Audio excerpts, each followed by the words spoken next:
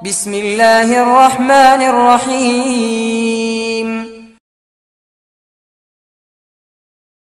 السلام عليكم ورحمة الله تعالى وبركاته بسم الله والحمد لله والصلاة والسلام على أشرف رسول الله وعلى آله الفائزين برضا الله أما بعد മുമിനിങ്ങളെ സർവശക്തനായ അള്ളാഹു നമ്മെ കബൂലാക്കട്ടെ നമ്മുടെ പാപങ്ങൾ അള്ളാഹു പുറത്തു തരട്ടെ രോഗങ്ങൾ അള്ളാഹു ശിഫയാക്കട്ടെ നമ്മിൽ നിന്നും മൺമറഞ്ഞവരുടെ ഖബർ അള്ളാഹു സ്വർഗമാക്കട്ടെ തെറ്റുകുറ്റങ്ങൾ അള്ളാഹു നമുക്കും അവർക്കും നിരുപാധികം മാപ്പാക്കി തരട്ടെ. നമ്മുടെയും നമ്മുടെ കുടുംബത്തിന്റെയും ശിഷ്ട ആയുസ് അള്ളാഹു പൊരുത്തപ്പെട്ട വഴിയിൽ. ഇസ്സത്തോടെ സന്തോഷത്തോടെ ജീവിച്ച് ഈമാൻ സലാമത്തായി മരിക്കാൻ അള്ളാഹു നമുക്ക് എല്ലാവർക്കും ഭാഗ്യം നൽകട്ടെ. അള്ളാഹുവിന്റെ ദീനിൽ ഒരംഗമായി ജനിച്ച് വളരാൻ ഭാഗ്യം കിട്ടിയവരാണ് നമ്മളെല്ലാവരും.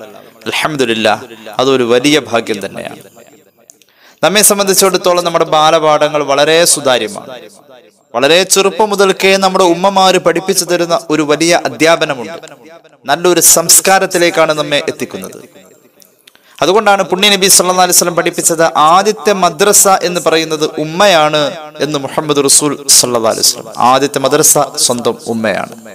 ഉമ്മയായിരിക്കും ഒരു പക്ഷേ നമ്മുടെ വീട്ടിൽ പല നല്ല കാര്യങ്ങളും എങ്ങനെ എന്ന് നമ്മെ ഓർമ്മപ്പെടുത്തിയിട്ടുള്ളത്. മറ്റൊരാളുടെ വീട്ടിലേക്ക് ചെല്ലുമ്പോൾ ചെരുപ്പ് അഴിച്ചു വെക്കേണ്ടത് എവിടെ എന്ന്. മറ്റൊരാളെ കാണുമ്പോൾ ചിരിക്കേണ്ടതിന്റെ രൂപം. മറ്റൊരാളെ കാണുമ്പോൾ സംസാരിക്കേണ്ടതിന്റെ ഭാഷ. ഇതെല്ലാം പഠിപ്പിച്ചത് മിക്കവാറും ഉമ്മയാണ്. ആദ്യം നാം ഉച്ചരിച്ചതും ഉമ്മയുടെ പേരു പേരുകൊണ്ട് തുടങ്ങിയ വാക്കുകളാണ്. ഏതായാലും ഉമ്മ പഠിപ്പിച്ചു തുടങ്ങുന്ന ഒരു സംസ്കാരം മുതൽക്ക് നമ്മുടെ ബാലപാഠങ്ങൾ അതായത് ഒരു മുസ്ലിമിന്റെ ജീവിതത്തിന്റെ പ്രാവർത്തിക തലത്തിലേക്കുള്ള സർവ തത്വങ്ങളും കുടുംബത്തിൽ നിന്നും അമ്മിഞ്ഞയുടെ കൂടെ തന്നെ ഉമ്മ പഠിപ്പിച്ചിട്ടുണ്ട്. അവിടെ നിന്ന് തുടങ്ങിയാൽ മദ്രസ തലത്തിലേക്ക് വരുമ്പോൾ നമ്മെ സംബന്ധിച്ച് പ്രത്യേകിച്ച് കേരളത്തിലെ മുസ്ലിമീങ്ങളുടെ മദ്രസ വിദ്യാഭ്യാസത്തിന്റെ സിലബസിൽ കാണപ്പെടുന്ന ഒരു പ്രധാന വിഷയം അഖ്ലാഖ് എന്നുള്ളതാണ് അതിനർത്ഥം അഖ്ലാഖ് എന്ന പദത്തിനർത്ഥം സ്വഭാവങ്ങൾ എന്ന. എന്ത് സ്വഭാവ പഠിപ്പിക്കാം? ഈമാനിലേക്ക് ചേർക്കാൻ പറ്റിയ സ്വഭാവങ്ങളാ പഠിപ്പിക്കാം. ലജ്ജയെക്കുറിച്ച് പറയുന്നുണ്ട്. വിനയത്തെക്കുറിച്ച് പറയുന്നുണ്ട്. അങ്ങനെ ധാരാളം കാര്യങ്ങൾ എല്ലാ സൽസ്വഭാവങ്ങളും പഠിപ്പിക്കപ്പെടുന്നു. അത് ഏറ്റവും ചെറിയ തലം മുതൽക്ക് മദ്രസ എന്ന് വരെ പഠിക്കാൻ പറ്റുമോ? അന്ന് വരെയും ഇതിങ്ങ് തുടരുകയാണ്. പിന്നെ അവിടുന്ന് അപ്പുറത്തേക്ക് കടന്ന് പഠിക്കാൻ കഴിഞ്ഞാൽ മക്കാരിമുള്ള ഖലാഖ് എന്ന് പറയുന്ന ഒരു സെക്ഷൻ തന്നെ കാണാം. തസവൂഫിന്റെ കിതാബുകൾ കാണാം ഫിഖ് കാണാം. ഇതെല്ലാം നമ്മെ നല്ല സ്വഭാവത്തിലേക്കാണ് കൊണ്ടുവരുന്നത്. എന്നിട്ടും മുസ്ലിം സമൂഹത്തിന് ഇത്രയും നല്ല സ്വഭാവങ്ങൾ പഠിക്കാൻ അവസരം അവന്റെ മതം അവന്റെ മുന്നിൽ കാണിച്ചിട്ടും എന്തേ മുസ്ലിമെ നീ നല്ല സ്വഭാവം പഠിക്കാത്തത് എന്നൊരു ചോദ്യം ഞാനും നിങ്ങളും സ്വന്തം മനസാക്ഷിയോട് ചോദിക്കേണ്ട സമയം കടന്നു കഴിഞ്ഞു. ഏതായാലും ഞാൻ വിഷയത്തിലേക്ക് വരാം. ഒരു സംഭവം ഒരു ഉദാഹരണം പറയാം. നമുക്ക് മറ്റൊരാളിൽ നിന്നും ഒരു സഹായം ലഭിച്ചാൽ നമ്മെ സംബന്ധിച്ച് ഇംഗ്ലീഷുകാരൻ പഠിപ്പിച്ച ഒരു സംസ്കാരമുണ്ട്. താങ്ക് യു എന്ന് പറയാ നന്ദി എന്ന് പറയാ അവനോട് അല്ലേ? അപ്പൊ അവൻ പറയും വെൽക്കം ഓക്കെ ഞാനത് സ്വീകരിച്ചു. നിന്റെ നന്ദി രേഖപ്പെടുത്തിയത് ആ പ്രകടനം നന്ദി പ്രകടനം ഞാൻ സ്വീകരിച്ചു. ഇത് ഇംഗ്ലീഷുകാരൻ വളരെയധികം പ്രചരിപ്പിച്ചു നമ്മളൊക്കെ അത് ഏറ്റു പറയുന്നുണ്ട്. ഒരു നന്ദി പോലും പറയാതെ പോകുന്നു അല്ലേ? യഥാർത്ഥത്തിൽ നമ്മെ മറ്റൊരാൾ സഹായിച്ചാൽ ആ സഹായിച്ച ആളോട് നമ്മൾ എങ്ങനെയാണ് നന്ദി രേഖപ്പെടുത്താം? അതുകൊണ്ട് നമുക്ക് ആഹ്റത്തിലേക്ക് ഗുണം കിട്ടുന്ന ഒരു രീതി വേണ്ടേ? വേണോലോ? അള്ളാഹു തൗഫീഖ് നൽകട്ടെ. എന്നെ മറ്റൊരാൾ സഹായിച്ചു കഴിഞ്ഞാൽ ഞാൻ ആ സഹായിച്ച ആളുടെ നന്ദി സഹായിച്ച ആളുടെ സഹായത്തെ നന്ദിയോടുകൂടെ ഓർക്കുകയും ആ സഹായിച്ചതിന് വേണ്ടിയിട്ട് അള്ളാഹു നിനക്ക് കൂലി തരട്ടെ എന്ന് തിരിച്ച് അവന് വേണ്ടി പ്രാർത്ഥിക്കണമെന്ന് മുഹമ്മദ് റസൂൽ സല്ലാ അലിസ്ലം പഠിപ്പിച്ചു. അതാണ് അയാളോട് ചെയ്യേണ്ട പരിപൂർണമായ നന്ദി പ്രകടനം. നീ എന്നെ സഹായിച്ചതിന് നിനക്ക് അള്ളാഹു കൂലി തരട്ടെ എന്ന ആ ഒരു പ്രാർത്ഥന വഴി ഈ സഹായം തന്ന ആളോടുള്ള നന്ദി പ്രകടനം അടിസ്ഥാനപരമായി സഹായം തന്ന അള്ളാഹുവിലേക്കായി മാറുകയാണ്. അവിടെ അള്ളാഹനെ ഓർക്കാണ് ആ ദുആയിലൂടെ. അപ്പൊ കൂലി കിട്ടും. അയാളോടുള്ള നന്ദി പ്രകടനത്തിൽ അള്ളാഹുവോടുള്ള ഒരു ദുആയാകുമ്പോൾ അയാൾക്കും സന്തോഷാവും. അള്ളാഹു റബ്ബുൽ ഇസത്തിനോട് നന്ദി പറയലുമാവും. നമുക്ക് കിട്ടുന്ന ഏതൊരു സഹായം അത് ആര് ചെയ്തു തന്നാലും നമുക്ക് ലഭിക്കുന്ന ഏതൊരു ഉപകാരവും അത് ആര് ചെയ്തു തന്നാലും അടിസ്ഥാനപരമായ ആ ആവശ്യം നമുക്ക് നടത്തി തന്നത് അള്ളാഹുവാണ്. ഭൂമിയിൽ നാം കാണുന്ന ആ അദ്ദേഹത്തെ നമ്മെ സഹായിച്ചു എന്ന് പറയുന്ന ആ അയാളെ അള്ളാഹു ഒരു ഇടനിലക്കാരനാക്കി എന്ന് മാത്രം. നമുക്കൊരു രോഗം വന്നു കഴിഞ്ഞാൽ അത് മാറ്റിത്തരുന്നത് ഡോക്ടറാണെന്ന് നമ്മൾ പ്രാഥമികമായി അതിലുള്ള ആ നിഗമനത്തിലെത്താണ്. പക്ഷേ ഡോക്ടർ തരുന്ന മരുന്നിനും അയാൾ തരുന്ന നിർദ്ദേശത്തിനും ഒരു ഫലം ഉണ്ടായത് അള്ളാഹു ഇടപെട്ടതുകൊണ്ടാണ്. അള്ളാഹു റബ്ബുൽ ഇസ്സത്ത് നമ്മെ അങ്ങനെ അനുഗ്രഹിക്കുമ്പോൾ അള്ളാഹു റബ്ബുൽ ഇസ്സത്ത് ഭൂമിയിലെ മറ്റൊരു സൃഷ്ടി മുഖേന നമുക്കൊരു ഉപകാരം എത്തിച്ചു തരുമ്പോൾ അള്ളാഹുവിനോട് നമുക്ക് നന്ദി പറയാൻ കഴിയണം. അത് ഇയാളോട് നന്ദി പറയലിലൂടെയുമാവണം. അതിന്റെ രീതിയാണ് മുഹമ്മദ് റസൂൽ സല്ലാ അലൈഹി വസല്ലം പഠിപ്പിച്ചത്. ഇമാം ജാമിഉൽ ഉദ്ധരിക്കുന്നുണ്ട് ഹദീസ്. عن أسامة بن زيد رضي الله عنه قال رسول الله صلى الله عليه وسلم من صنع إليه معروف ആർക്കെങ്കിലും മറ്റൊരാൾ ഒരു ഉപകാരം ചെയ്താൽ റസൂലുള്ള പറയാണ് ആർക്കെങ്കിലും മറ്റൊരാൾ ഒരു ഉപകാരം ചെയ്താൽ ഉപകാരം ചെയ്തവനോട് ഉപകാരം കിട്ടിയവൻ പറയണം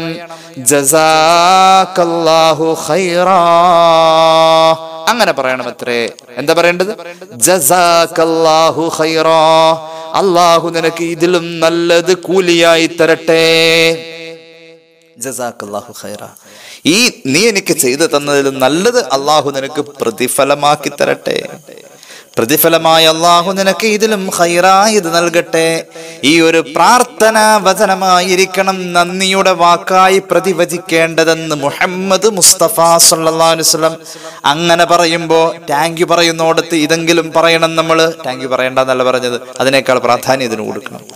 അങ്ങനെ ഒരാൾ പറയുന്നോടത്ത് അതൊരു പ്രാർത്ഥനാ രൂപത്തിൽ സംഭവിക്കുന്നോടത്ത് അബ്ലഗ ഫിസ്സനാ ഈ ഉപകാരം തന്ന മനുഷ്യനോട് ഉള്ള നന്ദി പ്രകടനത്തിലും അടിസ്ഥാനപരമായി ആ ഉപകാരം നമുക്ക് ചെയ്തു തരാൻ വേണ്ടി അയാളെ നിയോഗിച്ച അള്ളാഹുവിനോടും പൂർണമായ നന്ദി പ്രകടനം ഈ പ്രാർത്ഥനാ രീതിയിലൂടെയാണ് നടക്കുന്നത്.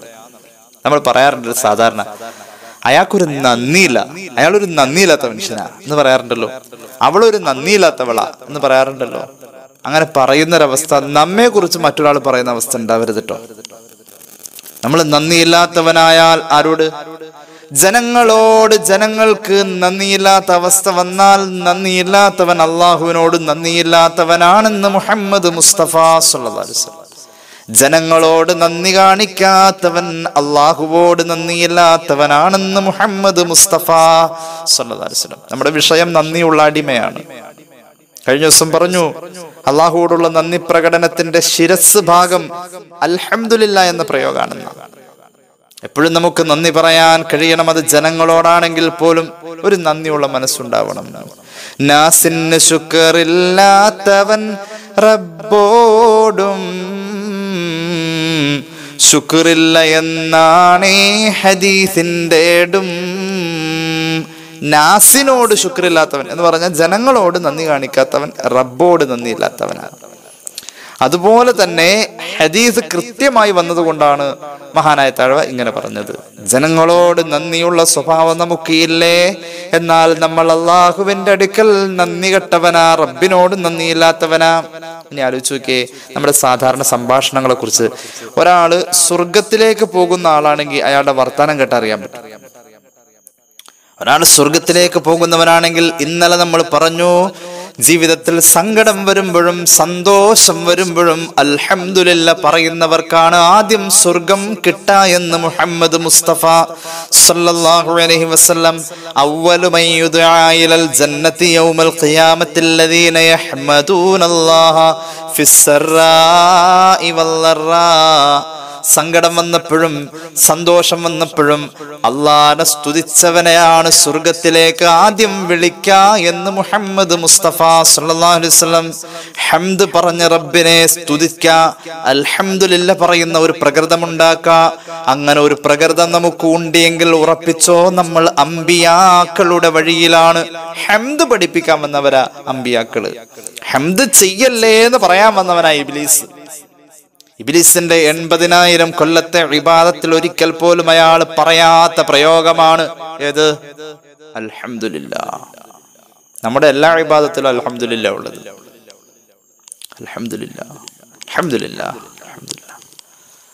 ഇബിലീസിന്റെ മാർഗമാണ് ഹംദ് ഒഴിവായിട്ടുള്ള മാർഗം. അതുകൊണ്ട് നമ്മൾ ഹംദ് പറയേണ്ടോടത്തൊക്കെ ഹംദ് പറയേണ്ടോടത്തൊക്കെ ഇബിലീസിനെ ആട്ടാനുള്ള പണി അള്ളാഹു ഏൽപ്പിച്ചിട്ടുണ്ട്. ഉദാഹരണം ഭക്ഷണം കഴിച്ചു കഴിഞ്ഞാൽ എന്ത് പറയണം? അലഹമില്ല ആ ഭക്ഷണം കഴിക്കണം. ഹംദ് പറയാ എന്നുള്ളത് അമ്പിയാക്കളുടെ സ്വഭാവമാണല്ലോ. ഹംദ് പറയാതിരിക്കൽ ആരുടെ സ്വഭാവമാണ്? ഇബിലിസിന്റെ സ്വഭാവം. ഉദാഹരണം ഭക്ഷണം കഴിക്കുന്നു നമ്മൾ എന്ത് പറയുന്നു? അലഹമില്ല അപ്പൊ ഇബിലിസിനെ ആട്ടി ഓടിക്കാൻ വേണ്ടി ആദ്യം തന്നെ എന്ത് ചെയ്തു? ബ്ലോക്ക് ചെയ്തു. എന്ത് പറഞ്ഞുകൊണ്ട്? ഭക്ഷണത്തിന്റെ ആദ്യത്തിൽ എന്ത് ചെയ്തു? ബിസ്മി ചൊല്ലി ഇബിലിസിനെ ബ്ലോക്ക് ചെയ്തു. ബിസ്മി ചൊല്ലിയിട്ട് അടയ്ക്കപ്പെടുന്ന വാതിലൊന്നും ഇബിലീസ് തുറക്കൂല എന്ന് മുഹമ്മദ് മുസ്തഫ സ്വഹീഹുൽ ബുഖാരി ഖത്തീബ് തിബ്രീസുൽ മിഷ്കാത്ത് എല്ലാ ഹദീസിന്റെ കിതാബുകളിലും അതുണ്ട്. ബിസ്മി ചൊല്ലിയിട്ട് അടയ്ക്കപ്പെട്ടതൊന്നും ഇബിലീസ് തുറക്കൂല എന്ന് പുണ്യ നബി വസല്ലം. അപ്പോ ഹംദിന്റെ വഴി എന്ന് പറഞ്ഞ അമ്പിയാക്കളുടെ വഴിയാണ്. ഇബിലേസ് പണ്ട് ഇബാദത്തിൽ ഒരു കാലത്തും അൽഹംദുലില്ല പറഞ്ഞിട്ടില്ലൊരു മറത്തും. വഹബെന്നവർ പറയുന്നു പറഞ്ഞിരുന്നെങ്കിലേ വീഴുന്നതല്ലൊരു കാലവും ഈ കുഴിയിലേ. ഇബിലീസ് ഇപ്പൊ കിടക്കുന്ന കുഴി ഇബിലീസ് ഇബിലീസ് ആയി പോയത് അൽഹംദുലിൽ ഒരിക്കലും പറയാത്തതുകൊണ്ടാണ് അപ്പൊ ഹംദിന്റെ വിരോധിയാണ് ഇബിലീസ്. ഹംദിനെ നടപ്പാക്കാൻ വന്ന ആളുകളാണ് അമ്പിയാക്കൾ. അമ്പിയാക്കളുടെ നേതാവിന്റെ പേര് പോലും ഹംദ് ചെയ്യപ്പെട്ടവനെന്ന മുഹമ്മദ് ഹംദാണ്. ഹംദാണ് ഹംദാണ് ഹംദാണ്. അമ്പിയാക്കളുടെ വഴിയാണ് ഹംദ് പരിശുദ്ധ ഖുർആൻ എത്രയാ പറയുന്നത്? ഖുർആൻ എത്രയാടോ ഇത് പറയുന്നത്? ഖുർആൻ എത്രയാ പറയുന്നത്? നമ്മൾ അമ്പിയാക്കളുടെ വഴിക്ക് പോകാനുള്ളവരാ. നമ്മുടെ സാധാരണ സംഭാഷണം എങ്ങനെയാ? ഇപ്പൊ ഒരാൾ ഒരു ഉദാഹരണം പറയാം. ഒരാൾ ഇപ്പൊ എന്റെ അടുത്ത് വന്നിട്ട് പറയാണ് ആ ഇക്ക എന്റെ മോൾ പ്രസവിച്ചു കേട്ടോ പെൺകുട്ടിയാണ്. ആ പ്രസവിച്ചോ? ആ പെൺകുട്ടിയാ അല്ലേ? ഈ വർത്താനം ആരുടെ വർത്താനാന്നറിയോ? മോൾ പ്രസവിച്ചോ? ഉവ്വ അല്ലേ? ആ അത് ഇബിലീസ് ഇഷ്ടപ്പെടുന്ന വർത്താന. നേരം മറിച്ച് ഇങ്ങനെയാണ് പറയേണ്ടത്. മോൾ പ്രസവിച്ചു? അൽഹമില്ല കുട്ടി പ്രസവിച്ചോ? എന്താ കുഞ്ഞ്? പെൺകുഞ്ഞ്. വീണ്ടും അൽഹംദുലില്ല അൽഹംദുലില്ല. അല്ല ഒരു അൽഹമില്ലയുടെ ഒരു ബന്ധമില്ലാത്ത വർത്താനം ഉണ്ടല്ലോ എന്റെ മോന് ഗൾഫിൽ ജോലി കിട്ടി. ആ കിട്ടിയോ? അങ്ങനെയല്ല. അലഹമില്ല ജോലി കിട്ടിയോ? മറ്റുള്ളവർക്ക് വന്ന അനുഗ്രഹമാണെങ്കിൽ പോലും അതിൽ നമ്മൾ എന്ത് പറയണം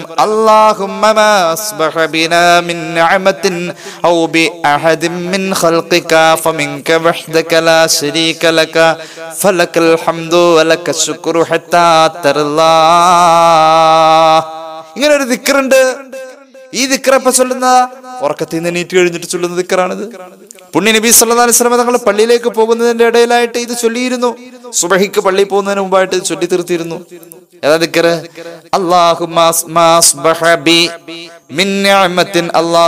എനിക്ക് നീ തന്ന വല്ല ഖൽഖിക. അല്ലെങ്കിൽ നിന്റെ സൃഷ്ടികളിൽ ആർക്കെങ്കിലും എന്തെങ്കിലും നിഅമത്ത് നീ ചെയ്തിട്ടുണ്ടെങ്കിൽ എനിക്ക് തന്നതും ഉണ്ടാവും. ചിലപ്പോ എന്റെ അപ്പുറത്തുള്ളവന് കൊടുത്തിട്ടുണ്ടാവും. ആർക്കൊക്കെ നീ ഞാമത്ത് ചെയ്തിട്ടുണ്ടോ? അതിനൊക്കെ കൂടിയിട്ട് ഞാനാ ഹംദ് പറയുന്നത്. ഫലക്കൽ ഹംദു വലക്ക ഹത്താ അവന് കൊടുത്താലും ഞാൻ നിന്നെ സ്തുതിക്കാണ് അള്ളാഹ് മറ്റുള്ളവന് കൊടുത്താൽ പോലും. ഇതെന്താ? ഇത് ആരുടെ സ്വഭാവ? ഇത് അമ്പിയാക്കളുടെ സ്വഭാവം. ഇതാണ് അമ്പിയാക്കളുടെ സ്വഭാവം. ഇത് നമുക്കുണ്ട്. ഉണ്ടാവണം. ഉണ്ടായേ പറ്റൂ. മറ്റേ മൂപ്പര് ഹംദ് പറയാത്തവനാ ഇനി അമ്പിയാക്കളെ ഹംദ് പറഞ്ഞിട്ടുണ്ടോ ബിസ്മില്ലാഹിർ റഹ്മാനിർ റഹീം ولقد آتينا داود وسليمان علما وقال الحمد لله الذي فضلنا على كثير من عباده المؤمنين അള്ളാഹുവേ പടച്ചറബ് പറയാ ദാവൂദ് നബിക്കും സുലൈമാൻ നബിക്കും നാം ആത്മജ്ഞാനം നൽകി സർവജ്ഞാനവും നൽകി.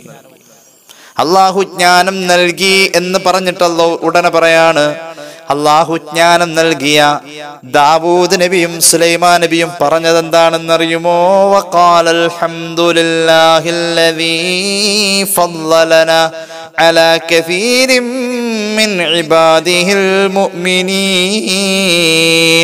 എൽമ തന്ന അല്ലാ ഞങ്ങൾ അതിനായിട്ട് നീ തെരഞ്ഞെടുക്ക എടുത്തല്ലോ. നീ അതിന്റെ കൂടെ തന്നെ ഇൽമും തന്നല്ലോ. അള്ളാഹു നിനക്ക് സ്തുതി. അപ്പൊ അമ്പിയാക്കൾ പറഞ്ഞതാണ് സ്തുതി. കൃത്യമായി തന്നെ ഖുർആൻ അത് പറയുന്നുണ്ട്. നൂഹ്നബിയോട് കപ്പൽ യാത്ര അള്ളാഹു കൽപ്പിച്ചതാണ്. കൂടെ ഉള്ളവരൊക്കെ കപ്പലിൽ കയറി കപ്പലിൽ ഇരുന്ന് കഴിഞ്ഞാ അൽഹമില്ല പറയണം എന്ന് നൂഹ് നബിയോട്. ബിസ്മില്ലാഹിർ റഹ്മാനിർ റഹീം فإذا معك على الفلك فقل فقل الحمد لله الذي نجانا من القوم الظالمين നൂഹ് നബിയോട് പറഞ്ഞു അങ്ങും അങ്ങയുടെ കൂടെയുള്ളവരും കപ്പലിലെത്തി കപ്പലിൽ ഇരിപ്പിടം ഉറപ്പിച്ചാൽ അലൽ ഫുൽക്കി കപ്പലിൽ ഉറപ്പിച്ചാൽ ഫക്കുൽ അപ്പൊ പറയണം നൂഹ് നബിയെ അൽഹംദുലില്ലാ എന്ന് പറയണം എന്ന് ഖുർആൻ നൂഹ് നബി അത് പറഞ്ഞിട്ടുണ്ട് അപ്പൊ അമ്പിയാക്കളുടെ വഴിയാണ് ഹംദിന്റെ വഴി. ഞാൻ പറയട്ടെ നമ്മുടെ ജീവിതത്തിൽ ഒരുപാട് അനുഗ്രഹങ്ങൾ നമ്മൾ കാണാറുണ്ട്. നമ്മുടെ വീടും നമ്മുടെ മക്കളും നമ്മുടെ വാഹനവും ഒക്കെ നമ്മൾ അകലേന്ന് കാണുമ്പോൾ പറയേണ്ട ദിക്കറുകളുണ്ട് ഹംദാണ്. ഹംദില്ലാത്തതൊന്നും അള്ളാഹു നമ്മെ പഠിപ്പിച്ചിട്ടില്ല. മഹാനായ ഇബ്രാഹിം നബി മക്കളെ കണ്ട് മക്കളെ കുറിച്ച് പറയുമ്പോൾ ഹംദാണ് പറഞ്ഞിരുതെന്ന് പറഞ്ഞിരുന്നതെന്ന് പരിശുദ്ധ ഖുർആൻ പറയുകയാണ്. الحمد لله الذي وهب لي على الكبر إسماعيل وإسحاق إن ربي لسميع الدعاء സയ്യിദുന ഇബ്രാഹിം അലൈഹിസ്സലാമിന്റെ പ്രാർത്ഥനയാണ് അള്ളാഹുവേ വാർദ്ധക്യത്തിലെത്തിയപ്പോഴാണ് എനിക്ക് മക്കളെ തന്നത് എന്റെ ഇസ്മായിലിനെയും എന്റെ ഇസ്ഹാഖിനെയും നീ എനിക്ക് തന്നല്ലോ എനിക്ക് വാർദ്ധക്യം എത്തിയപ്പോഴാണ് റബ്ബേ നീ എല്ലാം കേൾക്കുന്നവനും എല്ലാം അറിയുന്നവനും എന്റെ പ്രാർത്ഥനയ്ക്ക് ഉത്തരം നൽകുന്നവനുമാണല്ലോ അള്ളാ സയ്യുദന ഇബ്രാഹിം. അലഹിസ്സലാത്തു വസ്സലാമിന്റെ പ്രാർത്ഥന പരിശുദ്ധ ഖുർആൻ പറയുന്നു. അപ്പൊ അമ്പിയാക്കളുടെ വഴി നമ്മുടെ മുന്നിൽ അള്ളാഹു തന്ന അനുഗ്രഹങ്ങളെ നാം കാണുമ്പോൾ ആ സമയത്ത് നാം ഹെംദ് പറയണം. എന്നാൽ ആ അനുഗ്രഹങ്ങൾ നിലനിൽക്കൂ എന്ന് ഖുർആൻ പറയാം. നമ്മുടെ കുടുംബത്തിലെ നമ്മുടെ മക്കളെ നമ്മുടെ വാഹനങ്ങളെ നമ്മുടെ നമ്മുടെ സ്ഥാപനങ്ങളെ ഒക്കെ കാണുമ്പോൾ നമുക്ക് പറയാൻ പറ്റുന്ന ഒരു വർത്താനമുണ്ട്. പരിശുദ്ധ ഖുർആൻ തന്നെ അത് പഠിപ്പിക്കുന്നുണ്ട്.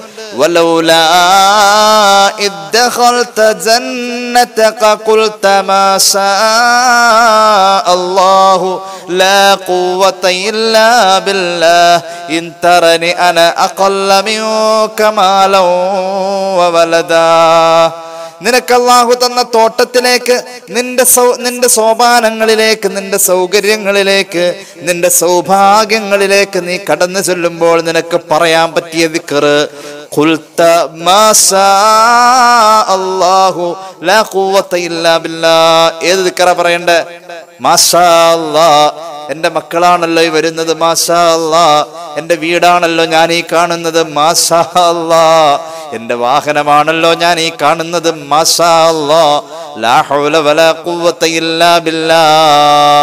മൂന്ന് ദിക്കറ് ചൊല്ലാം. നമ്മൾ നമുക്ക് അള്ളാഹു തന്ന അനുഗ്രഹങ്ങൾ അകലെ എന്ന് കാണുമ്പോൾ നമുക്ക് പറയാൻ പറ്റിയതാ. അൽക്കഹഫിലുണ്ട് ഈ ആയത്ത്. ഞാൻ ഈ ഓതി ആയത്ത് അൽക്കഹഫിലുണ്ട് രണ്ട് സഹോദരന്മാരുടെ ചരിത്രം പറയുന്നിടത്ത് ഒരു സഹോദരൻ മറ്റൊരു സഹോദരനെ ഉപദേശിക്കാം. ഈമാനുള്ള സഹോദരൻ ഈമാൻ ഇല്ലാത്ത സഹോദരനെ ഉപദേശിക്കാം. നിനക്ക് അള്ളാഹു ഒരുപാട് സൗഭാഗ്യങ്ങൾ തന്നപ്പോ അത് കാണുമ്പോ നീ ഇങ്ങനെ പറയണമെന്ന് എങ്ങനെ പറയണം? മാഷാ ഇല്ലാ ബില്ല പറയണമെന്ന് ഉപദേശിക്കാണ്. അതാ പറഞ്ഞത്. ആ ഉപദേശം നമുക്കുള്ളതാ. മൂന്ന് ദിക്കറ് ചൊല്ലാം നമുക്ക് അള്ളാഹു ചെയ്ത അനുഗ്രഹങ്ങൾ അകലേന്ന് കാണുമ്പോൾ നമ്മുടെ മക്കളെ അകലേന്ന് കാണുമ്പോൾ നമ്മുടെ വീട് ദൂരെ നിന്ന് കണ്ടുവരുമ്പോൾ തന്നെ നമ്മുടെ വാഹനം കാണുമ്പോഴൊക്കെ നമുക്ക് നമുക്കുള്ള എല്ലാ സമ്പത്തും നമ്മൾ കാണുമ്പോൾ അത് നിലനിൽക്കാൻ വേണ്ടി ഇങ്ങനെ പറയാം. മൂന്ന് ദിക്കർ ഒന്ന് മാഷ അല്ല രണ്ട് ലാ ഹൗല വലാ ഖുവത്ത ഇല്ലാ ബില്ല. മൂന്ന് അൽഹംദുലില്ല. ഈ മൂന്നെണ്ണവും പറയണം. മാഷാ അല്ല പറയുന്നതിനാ അള്ളാഹുവിനെ സ്തുതിക്കലാണ് അത് ഒരർത്ഥത്തിൽ. മാഷാ അല്ല പറയുന്നത് അതിന്റെ ബർക്കത്തിന് വേണ്ടിയിട്ടാ. ലാ ഹൗല വലാ ഖുവത്ത ഇല്ലാ ബില്ലാഹിൽ അലിയിൽ പറയുന്നത് നീ വിനയം കാണിക്കൽ അള്ളാഹുവിന്റെ മുന്നിൽ. അള്ളാഹുവാണ് ഇത് തന്നത്. എനിക്കിതിലൊരു കഴിവൂല. അള്ളാഹുവിന്റെ മുന്നിൽ വിനയം പ്രകടിപ്പിക്കലാണ് ലാ ഹൗല ചൊല്ലല് അൽഹംദുലില്ല പറഞ്ഞ എന്താ? നീ ശുക്ർ ചെയ്യാണ് അള്ളാഹുവിന്. ഇങ്ങനെ വന്നു കഴിഞ്ഞാൽ അത് നിലനിൽക്കുമെന്നാ ഖുർആൻ പഠിപ്പിച്ചത്. അള്ളാഹു തോഫീഖ് നൽകട്ടെ. അപ്പൊ മറക്കണ്ട. നമുക്ക് അള്ളാഹു ചെയ്തു തന്ന സൗഭാഗ്യങ്ങൾ അകലെ എന്ന് കാണുമ്പോൾ അത് നമ്മുടെ മക്കളാവാം നമ്മുടെ വീടാവാം നമ്മുടെ വീടും മക്കളും വാഹനവും. അത് മാത്രമല്ല അതിനപ്പുറം എന്തൊക്കെ ഉണ്ട്? കമ്പനിയാവാം കടയാവാം. എന്തും? നമ്മുടെ നല്ല സൗഹൃദങ്ങളാവാം നമ്മുടെ ഭാര്യയാവാം. ഭാര്യയും മക്കളെയൊക്കെ അകലെ എന്ന് കാണുമ്പോൾ അലഹമില്ല അലഹമില്ല പറയാലോ മാഷാ പറയാലോ. നമുക്കതുപോലെ തന്നെ ലാഹവല പറയാലോ ഇതൊന്നും എന്റെ കഴിവ് കൊണ്ടല്ല അള്ളാഹുവെ നീ തന്നതാണല്ല. എന്ന് പറയാമെന്ന് പറയാം അത് അമ്പിയാക്കളുടെ സ്വഭാവമാണ്. ഇബ്രാഹിം നബി മക്കളെ കുറിച്ച് പറഞ്ഞതാണ് ഇനി നോക്കിക്കോളൂ. വാഹനത്തിലേക്ക് കയറുമ്പോ നമുക്ക് പറയാലോ അലഹമില്ല വാഹനത്തിൽ കയറുമ്പോ പറയണേ ഒരു ദിവസം എത്ര യാത്ര ചെയ്യുന്നവരാ? എന്തെല്ലാം ഏതെല്ലാം മേഖലകളിലൂടെ കടന്നു പോകുന്നു? ഹംദ് ഒഴിവായിട്ട്. അതിനർത്ഥം ഹംദ് നമ്മൾ ഏതെങ്കിലും ഒരു മേഖലയിലൂടെ കടന്നു പോകുന്നുവെങ്കിൽ നമ്മുടെ കൂടെ ഇബിലീസ് ഉണ്ടെന്ന് അതിനർത്ഥം. ഇനി കണ്ടോളൂ വാഹനരംഗം. പരിശുദ്ധ ഖുർആൻ പറയുന്നു വാഹന രംഗത്തെക്കുറിച്ച് ആ വാഹന രംഗത്തിൽ നമുക്ക് ഹംദുണ്ട്. അള്ളാഹുവിന്റെ ഖുർആൻ വല്ലദീ ഖലഖൽ അസ്വാജ കുല്ലഹാ വജഅല من الفلك والأنعام ما تركبون لتستووا على ظهوره على ظهوره ثم تذكروا نعمة ربكم അള്ളാഹുവിന്റെ അനുഗ്രഹമാണ് അള്ളാഹു ചെയ്ത നിഅമത്താണ് നിന്റെ വാഹനം എന്ന് ഖുർആൻ ഇതസ്തവൈത്തും അലൈഹി വാഹനത്തിന്റെ മുകളിൽ കയറിയാൽ പറയണം വത്തഖുലൂ സുബ്ഹാനല്ലദീ സഖറ ലനാ ഹാദാ വമാ കുന്നാ ലഹു മുഖ്രിനീൻ എന്റെ കഴിവല്ല ഇത് അള്ളാഹു കീഴ്പ്പെടുത്തി തന്നതാ അതാണ് ആയത്ത് ഈ ആയത്തിന്റെ വ്യാഖ്യാനം സുഹൃത്ത് സുഹുറുഫിന്റെ ആയത്തുകളാണിത്. ഇതിന്റെ വ്യാഖ്യാനം മഹാന്മാരായ മുഫസരിയങ്ങൾ രേഖപ്പെടുത്തുന്നുണ്ട്. ഹദീസ് ഉദ്ധരിച്ചുകൊണ്ടാണ് ഇതിന്റെ വ്യാഖ്യാനം രേഖപ്പെടുത്തുന്നത്. സല്ലല്ലാഹു അലൈഹി വസല്ലമ ഇദാ ഒരു വാഹനത്തിന്റെ പുറത്ത് റസൂലുള്ള കയറി അതിലേക്ക് കാൽ വെക്കുമ്പോൾ അവിടുന്ന് പറയും കാൽ വെക്കുമ്പോൾ പറയും ബിസ്മില്ലാഹി എന്ന് പറയും. ഫൈദസ്തവ വാഹനത്തിൽ ഇരുപ്പുറപ്പിച്ചു കഴിഞ്ഞാൽ അവിടുന്ന് പറയും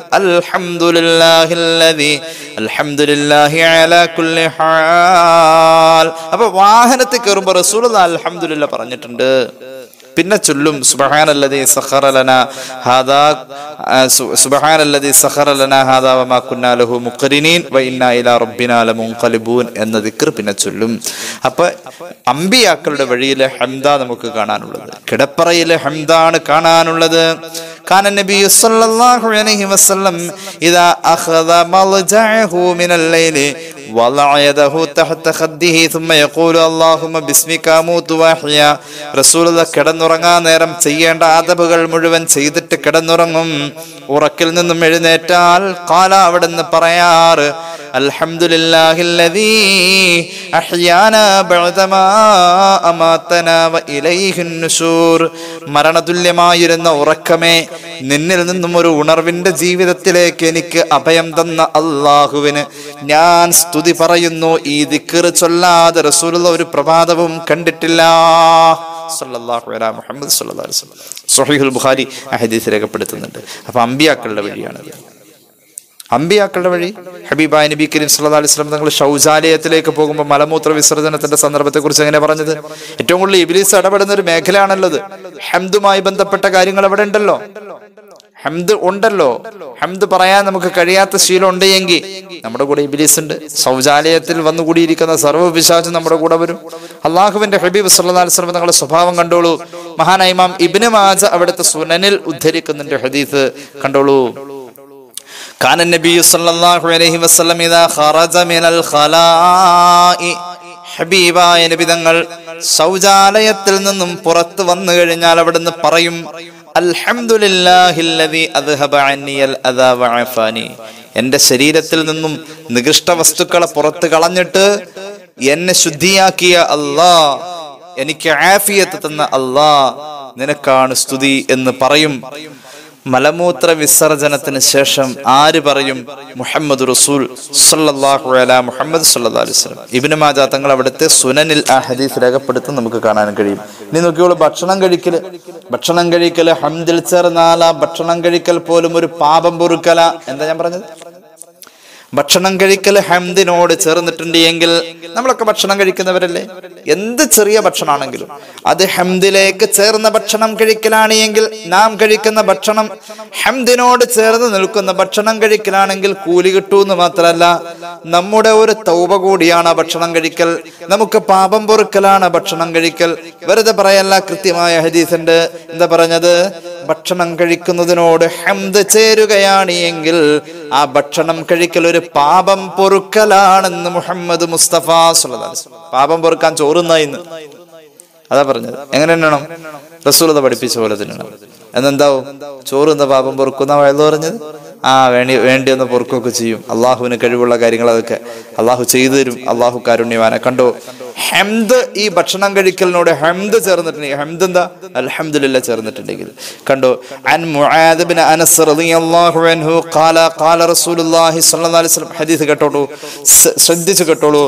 മൻ അകല ആരെങ്കിലും ഭക്ഷണം കഴിക്കേണ്ട പോലെ കഴിച്ചാൽ സുന്നത്തുകൾ പാലിച്ചുകൊണ്ട് കഴിച്ചാൽ ബിസ്മിയൊക്കെ ചൊല്ലി കൈയൊക്കെ കഴി ഭക്ഷണം ഒരു നിന്നും തിന്നു തുടങ്ങുന്ന ശീലം അതിൽ ഊതാതെ അതിലേക്ക് നിശ്വാസമായി വിടാതെ ഒക്കെ ഭക്ഷണത്തെ മാനിച്ച് ഇസ്ലാം പറഞ്ഞ അതബുകൾ പാലിച്ചുകൊണ്ട് ഒരാൾ ഭക്ഷണം കഴിച്ചാൽ ആരെങ്കിലും ഭക്ഷണം കഴിച്ചാൽ എന്നിട്ട് ഭക്ഷണം കഴിച്ചു കഴിഞ്ഞപ്പോൾ അവൻ പറഞ്ഞു അൽഹംദുലില്ല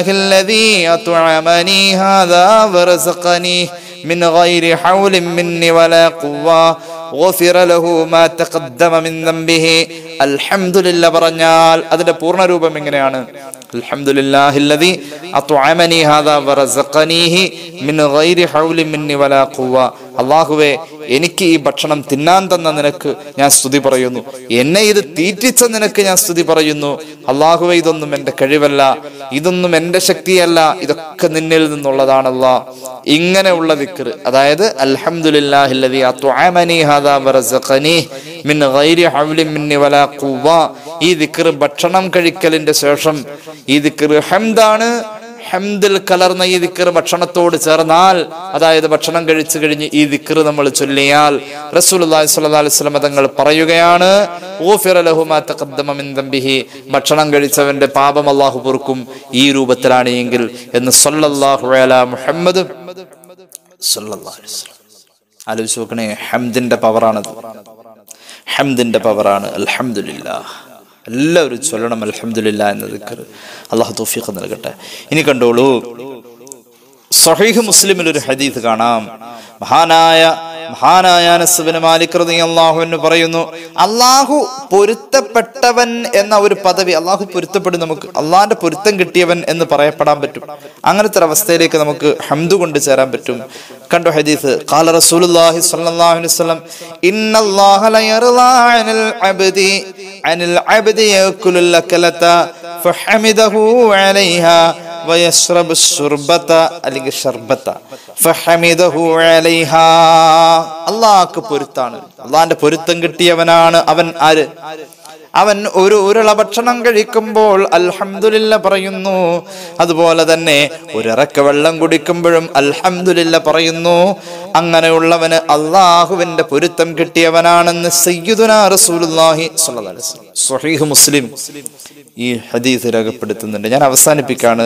സുദീർഘമാക്കുന്നില്ല. നമ്മുടെ ജീവിതത്തിൽ ആരെങ്കിലും എന്തെങ്കിലുമൊക്കെ ഉപകാരം ചെയ്ത് കഴിഞ്ഞിട്ടുണ്ടെങ്കിൽ ആ മനുഷ്യനോട് നമ്മൾ നിനക്ക് അല്ലാഹു ഖൈർ പകരം തരട്ടെ ജസാക്കല്ലാഹു ഖൈറ എന്ന് ദുആ ചെയ്തുകൊണ്ട് വേണം അവനോട് നന്ദി അറിയിക്കാൻ എന്ന് നമ്മൾ പറഞ്ഞു വെച്ചിരുന്നു. അത് മറക്കരുത്. അവിടെ മുതൽക്ക് പറഞ്ഞിട്ടുള്ള എല്ലാം ഓർമ്മ വേണം. ഒറ്റ സംഭവം കൂടി പറഞ്ഞിട്ട് ഞാൻ അവസാനിപ്പിക്കുകയാണ്. അള്ളാഹുവിന്റെ ഹബീബ് സല്ലല്ലാഹു അലൈഹി വസല്ലം തങ്ങളുടെ പ്രിയ സുഹാബി അബൂ സഈദ് അൽ ഖുദരി തങ്ങൾ പറയുന്നുണ്ട് ഇമാം അബൂദാവൂദ് അവിടുത്തെ സുനനിൽ ഈ ഹദീസ് രേഖപ്പെടുത്തുന്നുണ്ട്. നമ്മളൊരു പുതിയ വസ്ത്രം ധരിക്കുമ്പോൾ അൽഹംദുലില്ല പറയണം. എത്ര മേഖലകളാണ് നമുക്ക് അൽഹംദുലില്ല പറയാനുള്ളത്? ഒരു പുതിയ വസ്ത്രം ധരിക്കുമ്പോൾ അൽഹംദുലില്ല പറയണം. ഏ എത്ര അൽഹംദുലില്ല പറഞ്ഞാലും ജീവിതത്തിൽ ഒരു അവസാനമല്ലോ വലിയ പുണ്യകർമ്മം. അള്ളാഹുവിന്റെ ഹബീബ് സല്ലല്ലാഹു അലൈഹി നിങ്ങളുടെ സ്വഭാവം കണ്ടോ? ഒരു പുതിയ ഉടുപ്പ് ധരിക്കുകയാണെങ്കിൽ. കാരണം റസൂലുള്ളാഹി അള്ളാഹി സ്തജദ്ദ സൗബൻ ഒരു പുതിയ വസ്ത്രം റസൂലുള്ളാഹി സ്വല്ലല്ലാഹു അലൈഹി വസല്ലം തങ്ങൾ ധരിക്കുകയാണ് എങ്കിൽ സമ്മാഹു ബിസ്മി. അള്ളാഹുവിന്റെ ഹബീബ് സല്ലാസ്ലം ബിസ്മി ചൊല്ലിയിട്ട ആ വസ്ത്രം ധരിക്കുക ഇമാമത്തിനത് തലപ്പാവട്ടെ കമീസാവട്ടെ ഒരു ഇതാ അല്ലെങ്കിൽ അവിടുത്തെ തട്ടനാവട്ടെ അവിടുന്ന് ബിസ്മി ചൊല്ലിയിട്ടായിരിക്കും പുതിയ വസ്ത്രം ധരിക്കുക അന്നേരം അവിടുന്ന് പറയും اللهم لك الحمد كما كسوتني أسألك خيره وخير ما صنع له وأعوذ بك من شره وشر ما صنع له ഈ ദിക്കർ അള്ളാന്റെ ഹബീബ് വസ്ത്രം പുതിയ വസ്ത്രം ധരിക്കുമ്പോൾ ചൊല്ലുമായിരുന്നു അള്ളാഹുമ ലക്കൽ ഹംദു കമാ കസൗതനി പടച്ചോനെ നിനക്കാണ് സർവസ്തുതിയും എനിക്ക് നീ വസ്ത്രമെടുക്കാൻ അവസരം തന്നല്ലോ അല്ലാ അസ്അലുക ഖൈറഹു ഞാൻ ഉടുത്തിരിക്കുന്ന വസ്ത്രത്തിന്റെ ഖൈറും. ഇത് ഇത് നിർമ്മ നിർമ്മിക്കപ്പെട്ടതിലുള്ള ഹൈറും ഞാൻ നിന്നോട് ചോദിക്കുന്നു അല്ല. ഇതിന്റെ സർവ ഷെറുകളെ തൊട്ടും കാവൽ ചോദിക്കുന്നു അല്ല. ഹംദ് അംബിയാക്കളുടെ പാരമ്പര്യമാണ് ഹബീബായ നബി കരീം സല്ലല്ലാഹു അലൈഹി വസല്ലം. തങ്ങൾ അത് നമ്മെ പഠിപ്പിച്ചിട്ടുണ്ട്. തുമ്മിയാൽ പോലും ഹംദ് പറയണമെന്നാ പഠിപ്പിച്ചിട്ടുള്ളത് അല്ലേ? ഒരാൾ തുമ്മിക്കഴിഞ്ഞാൽ ഇതാ എന്ന് പറയണെന്നാ തുമ്മിയാൽ പോലും അൽഹംദുലില്ലാഹ് പറയണം ഇവിടെയാണ് നമ്മുടെ സംസ്കാരം. ഇവിടെയാണ് നമ്മുടെ ദീൻ. സുഹാബി വന്നുകൊണ്ട് ചോദിച്ചല്ലോ നബിയെ ദീൻ എന്ന് പറഞ്ഞാൽ എന്താ? ദീൻ എന്ന് പറഞ്ഞാൽ ഹുസ്നുൽ ഖുലുഖാണെന്ന് പുണ്യ നബി വസല്ലം സൽ സ്വഭാവമാണ് അതുകൊണ്ട് ഞാൻ നേരത്തെ പറഞ്ഞ ഭാഗത്തേക്ക് വീണ്ടും മടങ്ങുന്നു. ആര് നമ്മളെ സഹായിച്ചാലും സഹായം തന്നത് അള്ളയാണ്. അതിനുവേണ്ടി ഒരാളെ അള്ളാഹു തെരഞ്ഞെടുത്തു എന്നല്ലാതെ അടിസ്ഥാനപരമായി ആ സഹായം അല്ല തന്നതാണ്. അപ്പൊ അല്ല തെരഞ്ഞെടുത്ത ഒരാളാണ് നമുക്ക് സഹായമായിട്ട് ഭൂമിയിൽ വന്നത്. അപ്പൊ അവനോട് പറയാ അല്ല അള്ളാഹു നിനക്ക് കൂലി തരട്ടെ. ജസാഖ് അള്ളാഹു ഖൈറ. അപ്പൊ അവനും സന്തോഷമായി ഇത് ചെയ്തതെന്ന അടിസ്ഥാന ഇതിന്റെ ചെയ്ത ആൾ ഇതിന്റെ കർത്താവ് അള്ളാഹു ആണ് അള്ളാഹുവിനും സന്തോഷമായി അള്ളാഹിന്റെ പൊരുത്തം കിട്ടും. അള്ളാഹു തൗഫീഖ് നൽകട്ടെ. ഇൻഷാ മൂന്ന് സ്വലാത്ത് സല്ലല്ലാഹു മുഹമ്മദ് സല്ലല്ലാഹു അലൈഹി വസല്ലം. സല്ലല്ലാഹു മുഹമ്മദ് സല്ലല്ലാഹു അലൈഹി വസല്ലം. അല്ലാഹുമ്മ സല്ലി അലാ മുഹമ്മദ് يا رب صل عليه وسلم. الحمد لله رب العالمين اللهم صل على سيدنا محمد وعلى آل سيدنا ومولانا محمد. അള്ളാഹുവെ ഞങ്ങളെ നീ സ്വീകരിക്കണേ തമ്പുരാനെ റബ്ബെ ഞങ്ങളുടെ പാപങ്ങൾ പൊറുക്കണേ അല്ല രോഗങ്ങൾ ശിഫയാക്കണേ അല്ല. അറിഞ്ഞ് ചെയ്ത അറിയാതെ ചെയ്ത രഹസ്യമായി സംഭവിച്ച പരസ്യമായി സംഭവിച്ച എല്ലാ തെറ്റുകുറ്റങ്ങളും മാപ്പാക്കി തരണേ അല്ല. നീ അനുഗ്രഹിച്ചവരുടെ മാർഗത്തിൽ ചേർക്കണേ അല്ല. അള്ളാഹുവെ പെട്ടെന്നുള്ള മരണങ്ങളെ തൊട്ട് കാക്കണേ അല്ല. അപകടങ്ങളെ തൊട്ട് കാക്കണേ അല്ല. അപകട മരണങ്ങളെ തൊട്ട് കാക്കണേ അല്ല. നീ തന്ന എല്ലാ അനുഗ്രഹങ്ങളും നിലനിർത്തി തരണേ അല്ല.